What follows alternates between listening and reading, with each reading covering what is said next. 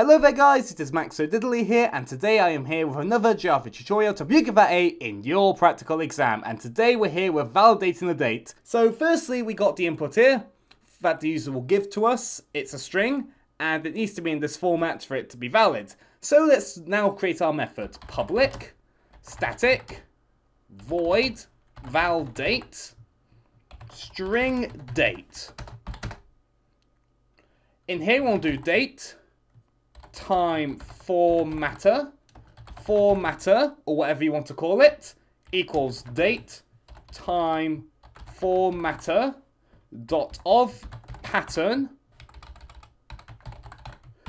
and in here you want to do speech marks, dd, lowercases, slash uppercase m's, two of them, and full lowercase u's. Now I want to right click on date time formatter and click fix imports. Now I want to try catch.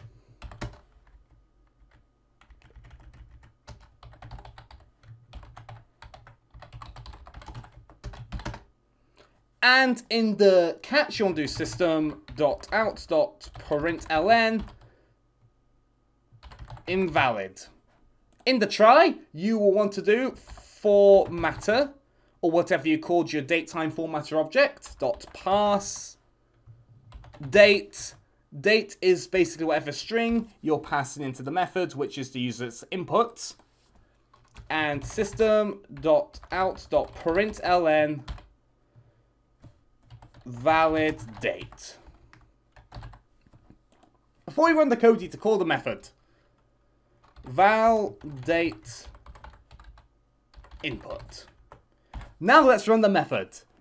And as you can see, it says valid date. Our input was the 31st of April of 2004. That is a valid date.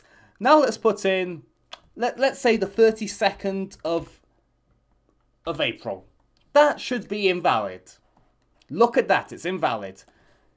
Let's put in the 23rd of the 13th of 2007, let's say. This should be invalid. It is invalid. So anyway guys, now that I've shown you that it works, I'm going to quickly describe what it's doing. We have a method here. It doesn't return any values because it's a void. It's called validate. It takes in one string, and we're going to call the string date. We are creating a, an object, a formatter object.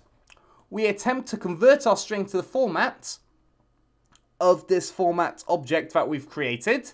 If it works, that's amazing. That means it has to be valid. If it doesn't work, that means the string the user inputted must not be able to match this formatter object, therefore it's not a valid date. So it will fail, and instead of crashing, it captures the error and we just say invalid. That's literally all there is to it, guys. Some very simple uh, Java. If you want to see more Java tutorials, be sure to check out my channel and subscribe. If you've got a suggestion, be sure to leave it in the comments below. Anyway, guys, thanks for being a great audience, and I'll see you next time.